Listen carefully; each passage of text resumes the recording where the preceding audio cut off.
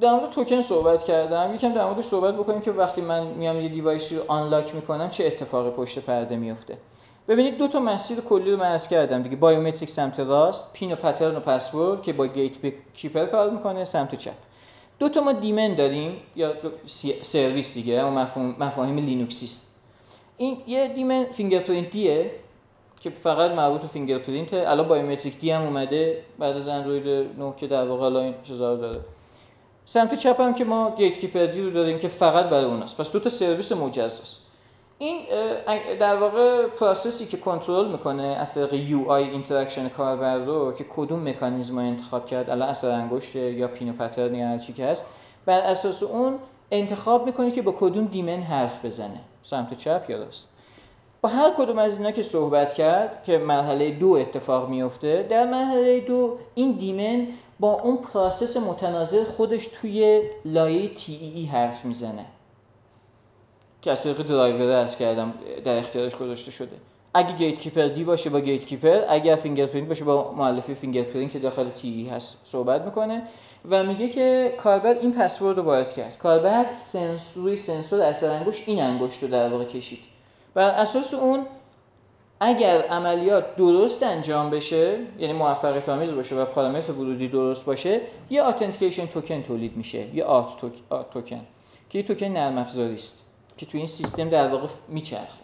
یعنی در نتیجه اون اون authentication token ه در نتیجه در مرحله سوم حالا از هر مسیری که اتفاق افتاده باشه به Keystore service می‌رسه. یعنی اون بخشی از سیستم عامل اندروید که با Keystore سخت افزاری داره کار می‌کنه یعنی TEE که این عامل وسطی است Keymaster Keymaster HAL یادتونه دیگه. hardware abstraction layer که عرض کردم که از, از طریق اون در واقع. یه لایه abstraction هستش که پیاده سازی سخت افزاری مختلف رو unified می‌کنه. یعنی یه API نرم افزاری واحد بهشون میده. پس این توکن رو بهش میدن.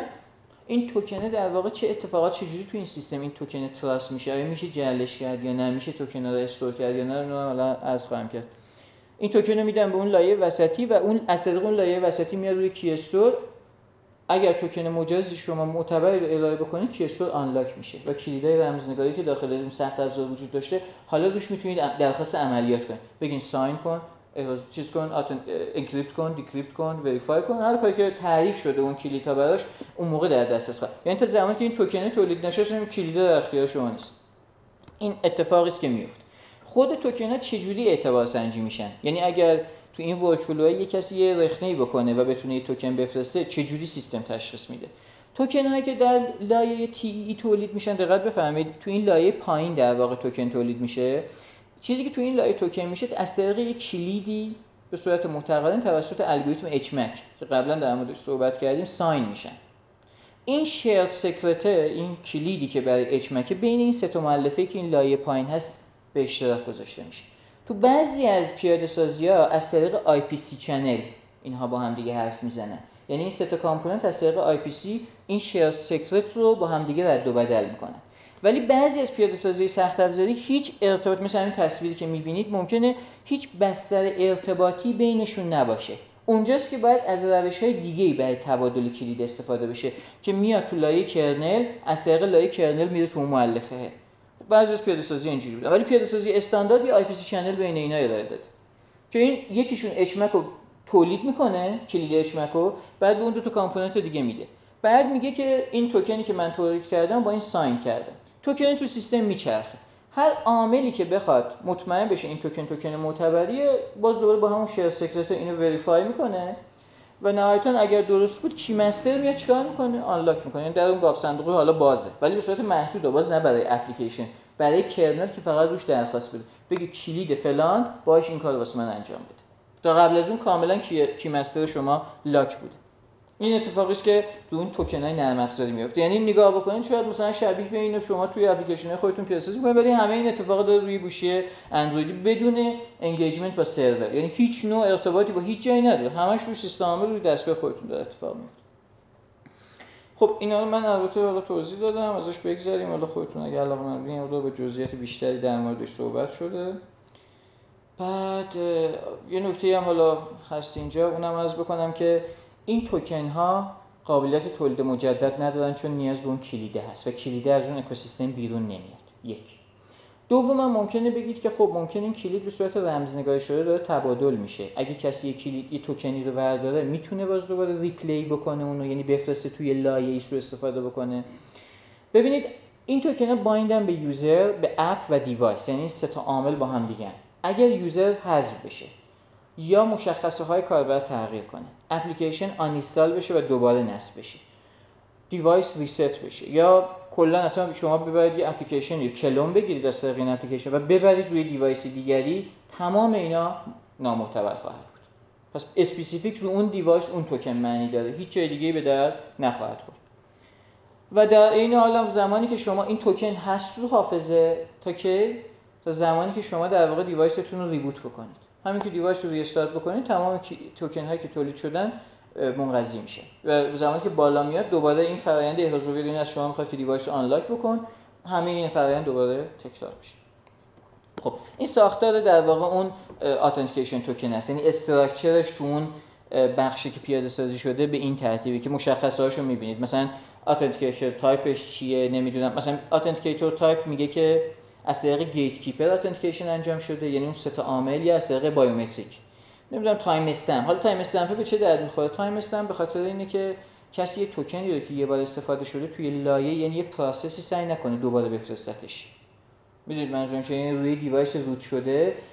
شما خب می‌دونید که بعضی از اپلیکیشن که malicious هستن اگر permission root رو هم داشته باشن می‌تونن بیان و بعضی از عملیاتی که دارن process های لایه kernel انجام میدن یا لایه user رو در واقع دوباره تکرار بکنن. اگه این توکن رو بدزده و دوباره بفرستتش ممکنه بتونه دور بزنه. ولی این timestamp جلوشو می‌گیره. به این میگن حمله replay attack و به این timestamp میگن nonce توی رمزنگاری که مشخص میشه بله این توکن یه بار استفاده شده. این توکن دزدیه. دوباره داره میفرستتش و از طریق اون جلوگیری و این HMAC شه که اون sign یه که روی کلید خورده و بقیه داستان حالا بماند. SID هم خب خیلی مهمه. گفتم دیگه SID مربوط به اون کاربر اون device اون اپلیکیشنه که unique 64 بیتیه و بر اساس اون تولید. definition این تو این header file است. این بخشا رو با C++ پیاده سازی کردن. قبلا هم گفته بودیم خدمتتون که یه بخش خاصی هست از این پروژه اندروید که حالا با C++ زده شده. حالا این هم بخشش هست تو این header file ی که اینجا اسمشو ملاحظه می‌کنید hardware authentication token این پیاده سازیش داخل اون هست. زمانی که این device دوباره boot میشه همه این فرآیند دوباره در واقع تکرار میشه اون کلید HMAC مجددا تولید میشه بارگذاری میشه بین این سه تا component ی که توی Trusty OS هست به اشتراک گذاشته میشه و بقیه داستان. حالا اینا رو اشاره کردم. این Trusty TEE باز اگر ببینید یه مقدار اطلاعات دقیق تری رو توی این دیاگرام می‌بینیم. اجزای مختلفی داره یک ناحیه‌ای داره برای رمزنگاری متقارن. الگوریتم مثل AES مثل RC4 مثل DES triple و الگوریتم متقارن حالا HMAC هم خودش باز تو همه ناحیه هست یه بخشی هم برای asymmetric یا رمزنگاری نامتقارن داره. خب چون هر کدوم از این ساختارهای خاص خودش رو دارن. یه بخش داره برای مولد عدد تصادفی که اون RNG هست و حالا chip های مختلفی که در واقع نگهداری میشه اون اتفاقاتی است که در واقع توش میفته و یه سری interface رو expose می‌کنه به بیرون که بتونن از طریق اون باش حرف بزنن. خب بعدش چه اتفاقی میفته ما حالا اینو OK در واقع تو اون حالا متمرکز می‌خوام بشن روی بحث fingerprint. ببینید گوگل کاری که کرده اومده گفته که خب چون شرکت های مختلفی میان specification ی رو که گوگل ارائه کرده رو پیاده سازی می‌کنن اومده گفته من یه لایه abstract تعریف می‌کنم fingerprint HAL. اینو به همه میگم این تو پروژه AOSP هست. هر کسی خواست بیاد device بسازه باید اینو implement بکنه. و یه سری method تو این هست که باید اونها در واقع implementation شو داشته باشه یعنی از طریق این interface ی که ارائه می‌کنه. این ساختار fingerprint HAL هست که ملاحظه می‌فرمایید ما توی fingerprint یه keyguard داریم keyguard manager که در واقع بخشی است که از کلیدهای رمزنگاری یعنی از طریق اون شما می‌تونید با سرویس در ارتباط باشین. یه fingerprint service داریم یه fingerprint manager API داریم یه دونه fingerprint d داریم که تو همون تصویر قبلی هم بود. همون daemon ه بودش که با TEE صحبت می‌کنه. و از این ناحیه هم که ملاحظه میفرمایید از اینجا به بعد مثلا خود در واقع اون TEE هست و سنسور خود fingerprint که باز keystore ی که در واقع تو این لایه قرار گرفته رو این لایه توسط شرکت های مختلف خاص اون شرکت پیاده سازی میشه. یعنی پایینتر از interface abstract گوگله. هر شرکتی میاد میگه من اینو اینجوری پیاده سازی می‌کنم این شکلی. حالا این شرکت ها شرکت های مثل مثلا شرکت های تولید کننده گوشی نیستن. شرکت های تولید کننده processor منظورمونه. مثل کوالکام مثل سامسونگ مثل هواوی. مثل مدیاتک. اینا هستن. نه نه مثلا حالا یه شرکت دیگه که مثلا فقط صرفا این پروسسور رو از یکی گرفته و استفاده می‌کنه. هر کس خب مدل خاص خودشو داره یه چیزی هم حالا این وسط یه پرانتزی بدم. تو همین مدتی که ما ارائه قبل داشتیم تا این جلسه من خدمتتون برسم یه آسیب پذیری روی تی کوالکام گزارش شد. همین سال 2019 همین مدت. که گفته بود اگر یه دیوایسی روت شده باشه میشه روش در واقع سری حملات روی TEE انجام داد. هنوز اینا کاملا بی‌نقص نیستن. یعنی می‌خوام بگم باید با یه مراقبت خاصی خب طبیعتا نیاز به آپدیت شدن داره ولی من اطلاعی ندارم که این نیاز به آپدیت شدن رو firmware داشته یا اینکه کلا اصلا باید processor تعویض بشه. ولی به هر حال می‌خوام بگم نسبت به این موضوعات هم باید ولی خب یه نکته هست. شاید مرتبط بشه اینو به کجا تعمیم داد؟ به اون بخشی که میگیم چرا با وجود همه این امنیت ها بازم root بودن device jailbreak بودن device رو داریم چک می‌کنیم تو خیلی از سناریوها. اینجاست. چون تو همون آسیب پذیری هم که گزارش شد اگر device root نشده باشه ریسکی نداره. فقط روی device root شده است که در واقع این مشکل امنیتی به وجود میاد. خب این از مرحله در واقع enrollment و اینها. قبل از اینکه حالا بریم باز ادامه بدم من بیام در مورد این اثر انگشتی صحبت کنم. هم اثر انگشت در واقع سنسور اثر انگشت تو اندروید هم بقیه device باید دوستان به این ترتیب کار بکنن. زمانی که شما انگشتتون رو روی دستگاه می‌کشید که enroll بکنید یا انگشت تعریف بکنید مثلا حالا هر چند تا تعداد به صورت نامحدود می‌تونید روی device تعریف کرد. بر اساس اون یک سری validation data و یک دونه encrypted version از template اثر انگشت شما استخراج میشه. یعنی اینو می‌خوام عرض بکنم. هیچ پیاده سازی از اثر انگشت تو هیچ device ی نباید اطلاعات اصلی اثر انگشت شما رو ذخیره کنه. یک فاز transformation ی باید اتفاق بیفته از رو اثر انگشت شما یه template ی استخراج بکنه. اون template اون template مثل hashing میمونه. یعنی در واقع از اون template نمیشه به اطلاعات اولیه رسید. ولی هر دفعه که طرف اثر انگشتش رو می‌کشه طبق همون الگوریتم مشابه دوباره این template regenerate میشه با اون چیزی که ذخیره سازی شده روی device مقایسه میشه. یعنی در واقع مدل این. منتها اینا به اون بسنده نکردن. خود template هم encrypt می‌کنن تو اندروید نگهداری می‌کنن. یعنی نه تنها template استخراج میشه encrypt میشه بعد اون encryption میره داخل TEE میشه سه لایه رمزنگاری. یعنی یه کسی بخواد اون اطلاعات اثر انگشت رو به فرض به دست بیاره این سه لایه رو باید بشکنه که تقریبا نزدیک به صفر است احتمالش. و یه سری هم validation data که هر بار که شما اثر انگشتتون رو می‌کشید همه این validation دوباره calculate میشه مقایسه میشه با اون چیزی که store شده و به شما یه جواب true false میده که منجر به تولید اون توکن نرم افزاری میشه که قبلش صحبت کردیم. این عملیاتی که بایستی توی این fingerprint HAL یا حال در واقع پیاده سازی بشه که توی این header file هستش این عملیات اصلیش رو من خدمتتون بگم. در واقع این daemon ه از طریق چه API داره با اون engine اون TEE داره حرف می‌زنه. این چند تا متد رو باید در نظر بگیری. یکی enroll یکی pre-enroll get authentication ID ببین مثلا enroll که همون کار ثبت رو انجام میده. یعنی هر device ی اینو پیاده سازی می‌کنه باید یه API enroll داشته باشه یا انگشت بشه از ثبت pre-enroll در واقع عملیاتی است که قبل از اینکه طرف بتونه اثر انگشتش ثبت کنه چک می‌کنه. شما می‌دونید که اثر انگشت رو نمیشه بدون یه lock secure device تعریف کرد. همیشه از شما می‌خواد که یک روش ثانویه‌ای مثل PIN و pattern و پسورد تعریف بکنید بعد اثر انگشتتون رو add کنید. این مربوط به اون فاز است. cancellations این API cancel همون حالا اگه دوستان این fingerprint رو روی اپلیکیشنشون process کردشون دیدین که زمانی که این سرویس رو call می‌کنید یه cancellation signal هم بهش pass می‌دید. که زمانی که کاربر انصراف داد یه حالت deadlock ی به وجود نیاد. یعنی برگرده به اون process قبلی اثر انگشت آزاد بشه سنسورش که بقیه سرویس ها بتونن ازش استفاده بکنن. اینم اونو باید پیاده سازی بکنه یعنی فرآیند بعد get اونو اومد یکیشو پریدم get authenticator ID هم SID رو برمیگردونه و همینطور enumerate مثلا لیست اثر انگشت رو برمیگردونه. میگه مثلا روی این device سه تا اثر انگشت تعریف شده ایناست template اش به صورت secure شده اینا دارن. ریموو کردن یه دونه اثر انگشت. active group هم در واقع چون خیلی از چیزها از طریق ownership تو file system دارن مدیریت میشن زمانی که شما به عنوان کاربر روی device ثبت می‌کنید میاد owner اون رو ID شما قرار میده که بقیه کاربر بقیه اپلیکیشن نتونن بهش دسترسی داشته و الی آخر دیگه. حالا بقیه دست این آخری هم بگم callback است. در واقع ما روش پیاده سازی fingerprint تو اندروید به صورت async ه یعنی یک process ی درخواست میده که کاربر رو واسه من هویت کن. dialog چیز callback میشه اثر انگشت کاربر انگشتش روی سنسور می‌کشه. بعد که موفقیت آمیز یا ناموفق انجام شد یه callback ی رو در واقع انجام میده که اون callback نتیجه احراز رو به اون app برمیگردونه که میگه successful بود error بود fail شد یا هر چیزی دیگه. که اینجا ملازم می‌فهمید کالبک مسیجی که در واقع اینجا هستش رو داره نشون میده که چه جوری تو چه لایه‌ای برمیگرده. خب اینا من ازش بپرم گیت کیپر مربوط به بحث ما نیست. این تا اینجای داستان. من فکر می‌کنم الان موقع بعد نباشه نمی‌دونم. اگه سوالی هست می‌خواین الان تا اینجا بپرسین چون بعدش پیاده سازی. من ببخشید خیلی سریع رفتم به خاطر اینکه این بحثا خیلی زمان بعد. اگه الان سوالی هست تا اینجا بفهمید اگه نه که من برم سراغ اون بس پیاده سازی پیاده سازی رو مرور کنیم. بفهمید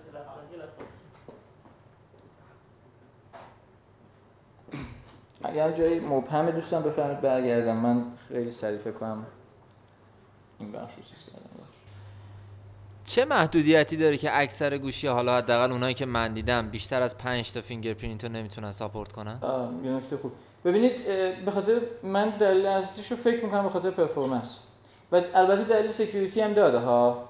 یکی اینکه اساسا شاید منطقی نباشه مثلا بیشتر از این تعداد روی دستگاه. چون درست اسمش multi-user ه ولی واقعا دستگاه های موبایل اینقدر دستگاه اشتراکی نیستن مثلا. یه دلیل شاید اینه که از یه حدی بیشتر. ولی نکته بعدی اینجاست که به خاطر این فرآیندی که توضیح دادم کلا زمان احراز هویت بر اساس اثر انگشت یه تابع خطی است از تعداد اثر انگشتایی که روی دیوایس تعریف میشه. اگه تعدادش خیلی زیاد بره زمان فرایندم طولانی تر میشه. البته نه به صورت نمایی ولی طولانی تر خواهد شد. یه دلیلش پس performance بوده که بیشتر از اندازه مثلا یه نفر می‌دونید اینم یه نوع در واقع overwhelming یعنی یه نفر بیاد شیطنت بکنه شروع بکنه همینجوری اثر انگشت تعریف کردن روی device. که چون نمی‌خوام بگم رو fingerprint همچین آسیب پذیری وجود داره ها ولی واقعا خیلی از تجهیزات امنیتی یا سازوکارهای امنیتی یکی از تکنیک ها denial of service هست یعنی انقدر این رو درگیر یک سری عملیاتی انجام بدیم مثل enrollment authentication اینها که یه جایی مثلا یه buffer overflow اتفاق بیفته یه کار چیزی اینجوری. یه روش بازدارنده هم این بوده دلیلش. ولی واقعا نمی‌تونم بگم دقیقا دلیلش رو می‌دونم. به نظرم این دو تا دلیل می‌رسه. من سوالم این بودش که شما وقتی گوشی های سامسونگ رو reset کنین وقتی که میاد بالا برای اولین بار نمی‌ذاره شما از اثر انگشت استفاده کنید بعد اول پسورد رو بزنی بعد از دفعات بعد من همینطوری شدن دیگه این دلیل خاصی داره یعنی آره. داره به ما میگه که پسورد براش معتبرتر نسبت به fingerprint. نه لزوما ولی password durable تره یعنی اینکه ریسک اینکه شما در واقع بر اساس biometric failure ی داشته باشید بیشتر از پسورده و اون پارامترهایی که در واقع منجر به تولید کلیدهای رمزنگاری میشن که اطلاعات اثر انگشتتون ذخیره میشه باز بر اساس همون lock است. و دیدم که یه نکته ای هست. یه دلیل دیگه هم recoverable بودنشه. با وجود اینکه الان خب سنسورها خیلی پیشرفت کردن نمی‌دونم حالا شما چه گوشیایی دارید ولی فکر می‌کنم حتی گرونترین گوشی اندرویدی هم این مسئله هست بعضی وقتا واقعا این بحث فاز recognition درست انجام نمیشه. دستتون رو می‌کشین اعزوریت نمی‌کنه. دو سه بار که می‌زنید یه مکانیزم throttling فعال میشه میاد میگه شما از اون حد مجاز بیشتر ترای کردی. این در مورد تو پین پسورد هم صادقه. بعد میاد چیکار می‌کنه؟ روش رو تغییر میده. اگر سازوکاری نباشه چه اتفاقی میفته نمی‌تونید وارد دستگاه بشید بخاطر همینه. یعنی اون لحظه شما میاد میگه که فرض کن انگشتتون جون قطع شده. چیکار می‌کنید؟ آدم حداقل می‌تونه با دماغش مثلا پسورد وارد بکنه ولی دیگه انگشت نشه از انگشت از دست میده واسه همین دلیلش فکر کنم این بوده که در واقع یه روشی وجود داشته باشه که بتونید ریکاوری بکنید بخش اسلایدهای قبلی نیاز به توضیحات نداره دوستان. جایی من نپریدم بعد نگفتم یا چیزی به نظر نرسید که. بد بود؟ آره. آرشان ببخشید. ممنون بابت اطلاعات رگباری خوبتون که به ما می‌دید و اینکه ما یه ایده یه پروژه داشتیم در واقع کیف پول بود و برای آه. انجام دادن این کیف پوله توی فروشگاه مختلف می‌خواستیم به جای اینکه یه fingerprint و یه کامپیوتر هزینه بکنیم بذاریم تو هر فروشگاه آه. از همه فروشگاه دارا گوشی رو داشتن حداقل. fingerprint هم داشتن. بله. می‌خواستیم دنبال یه راهی بودیم که به جای این fingerprint از گوشی خودشون استفاده بکنیم. user ها finger شون رو بذارن اونجا. ما user کیه؟ user من خریدارم شما خریدارید دقیقاً. من اطلاعات finger ش رو بفرستم سمت server authentication انجام بشه و هزینه خیلی بیاد پایین. solution ی براش پیدا نکردیم چیکار می‌کردیم؟ ببخشید fingerprint و یه کامپیوتر برای هر بوفه به اصطلاح توی مدارس بود. برای هر آها یعنی همه که می‌خواستن بیان خرید بکنن قبلش باید fingerprint شون تعریف می‌شد. تعریف شده بود. بعد میومدن روی این scanner دستشون می‌کشیدن. شما اینو تبدیل به یه اپلیکیشن کردید و مثلا می‌خواید رو device ش. آره. بعد چجوری این device با دستگاه کار, کار می‌کنه یا نه؟ از طریق اینترنت واسه میشه؟ اینترنت. می‌خواستیم به سرور وصل و fingerprint ببینید fingerprint رو که همونجوری که عرض کردم نمیفرستید شما سمت سرور چیزی امکانی وجود نداره اصلا اولا که به شما سیستم عامل و trust و سنسور هیچ کدوم اصلا اطلاعاتی از fingerprint نمیدن. حالا اگه من اینو بد گفتم ببخشید. به هیچ عنوان اصلا شما در اختیارتون نیست. یعنی شما وقتی که اثر انگشت تعریف می‌کنید میره device تون میشینه دفعه بعد که می‌کشین دوباره app شما کنترلی روش نداره. چه app باشه چه خود سیستم عامل اندروید دوباره اونو با از طریق Trusty OS authenticate می‌کنه ادامه داستان. شما چه تو app باشین چه روی device root باشین تو kernel level اجرا بشه app تون هیچ اطلاعاتی از اون اثر انگشته دست شما نمیاد. فقط یه true false ه ولی این true false ه کفایت نمی‌کنه. این بخش دوم که من قبلا هم گفتم که خیلی از پیاده سازی ها ممکنه بد باشن به همین موضوع می‌پردازی که آیا اون true false ه کافیه که برای من یه true و false success failure یا error برگردونه یا نه؟ کار بیشتری باید انجام بشه. جوابش هم قبلا گفتم. بله کار بیشتری چیه؟ شما بیاید یک کلیدی رو داخل key store bind بکنید به اون احراز هویت کاربر. حالا چه اثر انگشته چه هر نوع مکانیزم دیگری است. وقتی lock شما باز شد یعنی کاربر اون security measure لازم رو ارائه کرد بعد اون key store اتوماتیک باز میشه از اون authentication token ه و شما بهش میگی از اون کلید لطفا استفاده بکن این data یی که بهت میدم decrypt کن. این data رو sign کن. سناریوی شما اینجوریه که شما بعد از اینکه احراز هویتتون موفقیت انجام آمیز انجام شد مثلا باید یک security element ی رو به سمت server pass بدید. اون اثر انگشت نیست. مثلا یه user password یا یه توکنه آخه database اثر انگشتام سمت سرور ها. آره می‌فهمم ولی عملا این پیاده سازی شما نمی‌تونه رو وب باشه. اون به درد دستگاهی می‌خوره که مثلا دستگاه سن... همون همون دیگه. من خواستم هزینه آره. رو بیارم پایین جایگزین ببین میگم شما می‌تونید اونو بیخیال بشید. شما در واقع بیاین بگین که من پیاده سازی رو میگم بهتون دقیقا. نه الان تو جلسه همین الان تو جلسه میگم. من تا آخر جلسه است. چون روشی که شما دارید یکم با این مثال من فرق می‌کنه. ما تو این مثال روش های traditional کار سناریوی عمومی رو الان بررسی می‌کنیم. یه app ی تا دیروز user password می‌گرفته. حالا این می‌خواد با اثر انگشت حالا دو تا روش رو داشته باشه به user رو اثر انگشت. سناریو شما یکم خام خاصتره. چون user password ی قبلا نداشتید. چیکار کنیم؟ اون الان میگم. یعنی آخرش ببخشید میگم. خب سوال نیست دوستان؟ اگه سوال اینه که خیلی بد داره میگی من ببخشید اینو کاری نمی‌تونم بکنم راستش بخواید دیگه خودتون از روی اسلایدا بخونید. ده تا استپ کلی هست. حالا ممکن شما اینو بگیم 5 تا 3 تا 2 تا هر چند تا. 10 تا. من حالا واسه این دسته بندی 10 تا استپ کلی رو برای پیاده سازی اثر انگشت ما باید رعایت بکنیم. یک. app باید permission دسترسی به سنسور اثر انگشت رو از کاربر بگیره. حالا به صورت explicit یا implicit؟ این اصلا بهتر می‌دونید روش چیه. نکته بعدی. حتما باید verify بکنید که device تون lock داشته باشه. lock secure sliding و اینا قبول نیست. PIN password pattern lock secure است که روی device باید باشه. پس اینم باشه. همه اینا API البته داره می‌دونید خودتون. اون سوال شما حالا اینجا بهش اشاره شده در واقع. مرحله سوم. حداقل یه دونه انگشت روی دیوایس تعریف شده اینم چه یعنی من نمی‌تونم بیام همون لحظه توی اپلیکیشن هم تعریف بکنم چون اپلیکیشن همچین دسترسی به API انرول نداره. قبلش باید انرول شده باشه از طریق سیستم عامل اصلا انگشت باشه و بعد چیز بکنید. بعد بعد بیام چیکار بکنیم؟ ازش استفاده کنیم مرحله چهارم چیه؟ یه دونه از کلاس fingerprint manager باید بسازید. این هر اپلیکیشن یه instance از این رو در واقع در اختیار خودش داره. هر application instance. singleton نیست. ولی fingerprint d اینطوریه. به خاطر همین که ممکنه به خاطر نداشتن cancellation signal یه deadlock ی پیش بیاد. یعنی یه حالت cyclic lock ی به وجود بیاد. بعد آره یه دونه key store instance می‌گیرید. یعنی از Android key store system باید استفاده بکنید دیگه. initiate می‌کنید. اینو به عنوان storage تون در واقع در نظر می‌گیرید. چی چیکار کنیم؟ توش کلید رمزنگاری بذاریم. کلید رمزنگاری هم که ماهیت random داره. یعنی شما تولیدشون نمی‌کنید. دستور تولیدشون رو درخواست می‌کنید. نمی‌دونید چی. یه کلید generate کنید. داخل key store قرار بدید. که حالا بسته به version اندروید. روشاش مختلف. یه دونه object cipher initialize بکنید. قبلا گفتم object cipher object ی است که از طریق اون عملیات رمزنگاری انجام میشه. یعنی اون کلیدی هم که تولید میشه باید به cipher داده بشه. بگی آقا این کارو بکن. اون cipher اون عملیات decrypt encrypt sign verify اینها رو در واقع انجام میده. بعد از طریق این cipher object یه دونه crypto object یعنی یه object رمزنگاری شده. اینجاش نکته مهمی. یه object رمزنگاری شده نگه میداریم و اونو در واقع میدیمش به اون fingerprint manager ی که تو step 4 تولید کرده بودیم.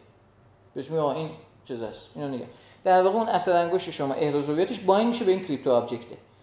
دفعات بعدی که می‌خواین احراز هویت بکنید اگه اثر انگشت درست کشید این crypto object در اختیار شما قرار می‌گیره. حالا باش چی کار می‌کنید؟ دیگه برمیگرده به شما. و برای اینکه احراز هویت هم بخواید مثلا تو run time انجام بدید وقتی user میاد خب طبیعتا اون dialog fingerprint رو باید فراخوانی بکنید. میاد جلوی کاربر میگه اثر انگشت رو بکش. اثر انگشت رو می‌کشه شما method authenticate رو call می‌کنید که گفتم قبلا return value ش چیه. و نهایتا هم یه دونه کالبک متد رو در واقع باید پیاده سازی بکنید که این زمانی که موفقیت آمیز انجام شد اون کالبک شما رو فراخوانی بکنه شما بگه که نتیجه احراز هویت چی بود. این مراحلی است که شما میگم ممکنه اینو بخواید خلاصه تر از این حرفا ببینید.